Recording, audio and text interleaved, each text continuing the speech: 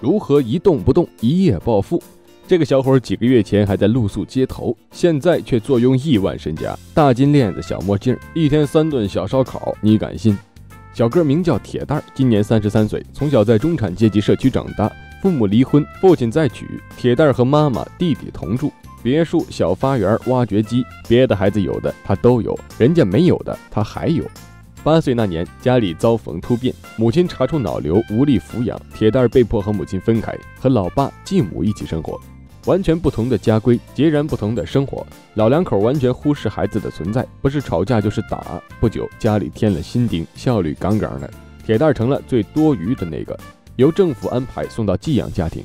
年满十八，生母过世，前前后后不完全计算，他一共搬了三十三次家。生活一团乱麻，忍无可忍，自力更生，结果被人家误解是个坏孩子，抽烟喝酒还烫头，最后被迫流浪，九年无家可归，偷东西维持生活。好的时候睡贫民窟，运气差点直接睡大街，时刻睁一只眼闭一只眼，小心警察驱逐，还要当心被人抢。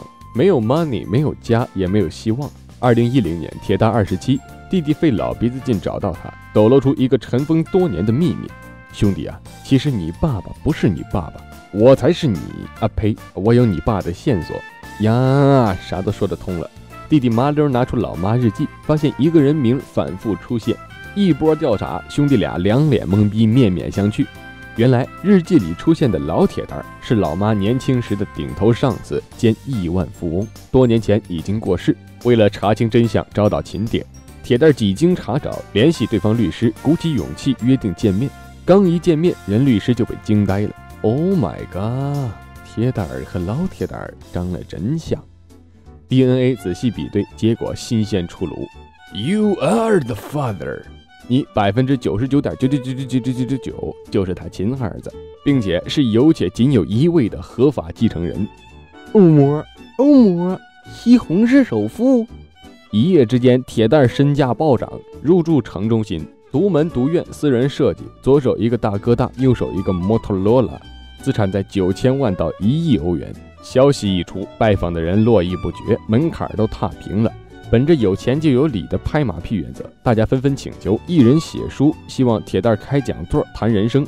台上走心感悟，台下专心致志，噼里啪啦响起雷鸣般的掌声，脸上个个挂着微笑。按时完成八百字观后感，啥也别说了，嫉妒死我丑陋。有请下一位参赛选手。这位大爷有点狂，漫步吉他店，称这疙瘩就没有他买不起的。啥纯黄金打造，啥无价之宝，穷人才做选择。我只梭哈。I could probably buy just about any guitar in here. Not that I would. 现在的他有多富，几年前就有多穷。大爷名叫强叔，年轻时头发茂密，梦想口袋有钱，肚里有饭，拥有一把最高档的吉他。奈何理想很丰满，现实很骨感。前前后后做了二十五年舞台经理、吉他管理员和吉他技师，专门为摇滚和乡村乐团服务。用人话说就是保管吉他、管理音箱、更换鼓面。谁说要啤酒，他就去跑腿儿。每天工作十二到十四个小时，随叫随到，全年无休，累死累活，当牛做马。头发日渐稀疏，工资愣是不见涨。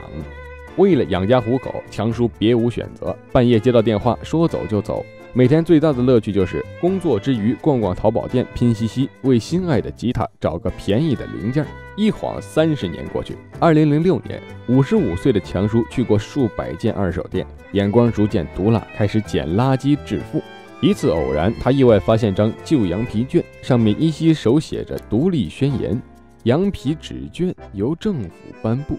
看起来有些年代，回去当个装饰品也不错。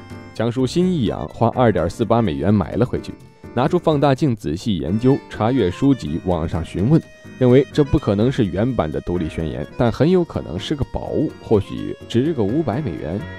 为了进一步确定，强叔跨过艰难险阻，终于找到一位专家愿意验证真伪，结果当场傻眼儿。这玩意儿是全球限量两百份的私通宣言，而且还是手写原件，羊皮更是真羊皮。经过几轮拍卖，心跳加速，一举拿下四十七万七千美刀。得店家哭晕在厕所，醒来又哭晕过去了。拿到 money，强叔直奔吉他店，大手一挥，带走心爱黄金吉他。妻子麻溜辞职，自己当老板，开了一家精品童装店。切，我一点都不酸。你想一夜暴富吗？你想一夜成名吗？你想单手开法拉利泡妞吗？你想拿着钢镚点烟吗？你想成为世界的主宰吗？愣着干啥？快吸欧气呀！关注我，天降财神，一夜暴富啊！